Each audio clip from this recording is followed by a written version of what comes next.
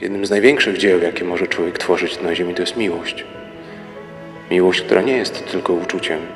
Miłość jest dziełem. Dziełem, które rodzi się z daru, z samego siebie, wprost z serca i bezinteresowności. To jest miłość.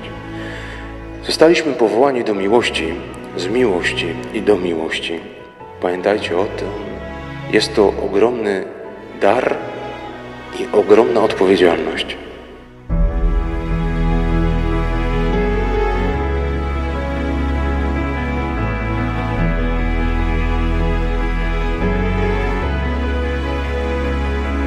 Ja, Mateusz, Ja, Ewelina, biorę Ciebie, Mateuszu, za męża i ślubuję Ci miłość, wierność i uczciwość małżeńską.